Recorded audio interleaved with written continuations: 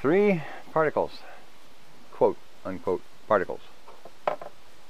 Our electron, remember, this is the electron in here. This is just a cage of space-time's points that keep it in shape.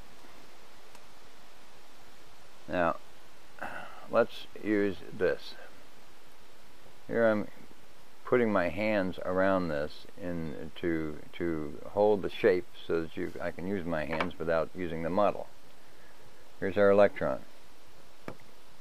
Here's our muon. Here's our tau particle. Electron, muon, tau. What happens when these two points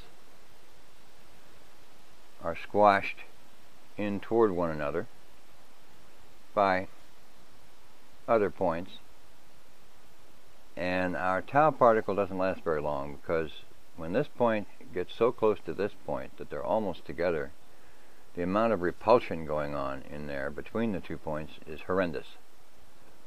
Bang. Electron. Muon.